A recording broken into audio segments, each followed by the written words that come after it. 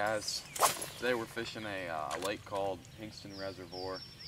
Uh, load all the tackle up into some backpacks, fishing from shore. Gonna try some spinner baits, uh, some, some flukes, maybe a couple of Texas rigs and we'll see what happens.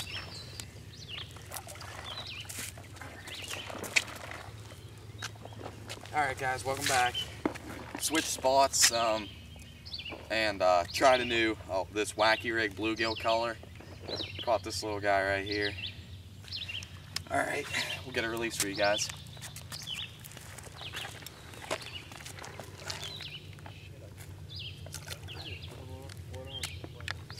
Alright, we're gonna keep fishing. Hey guys, uh, still fishing at Hinckston Reservoir. Uh, it's a little slow. We only ca I caught that one earlier on a, a wacky rig. Uh, most of us are throwing wacky rigs right now. I switched over to a Zoom Super Fluke, seeing if I can get any bites off of that. But uh, we're thinking about switching over to uh, Lake Rowena and Ebensburg here pretty soon. So we'll get back to you. Okay, guys, welcome back. Uh, Doug just landed a really nice one here on that suspending Rapala jerkbait here.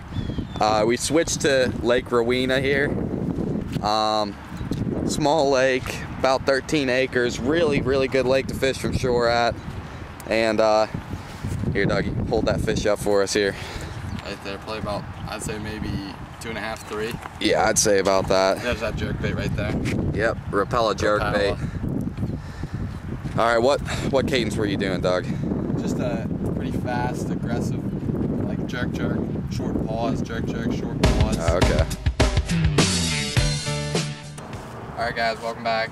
Just caught a little one, close to a pound probably, on this uh, Zoom Super Fluke soft jerk bait.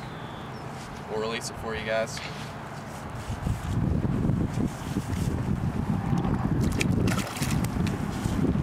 All right, we're gonna keep fishing. All right, guys, it's a pretty sunny, hot day. So, some things that are pretty important on conditions like this. It, it's important. It's not um, like completely necessary, but it is good to add a little flake to your soft plastics, and a little shine to your hard baits. Um, and something else is we're getting closer to the middle of the afternoon. Um, we're fishing in summer. It's summer conditions right now. It's hot.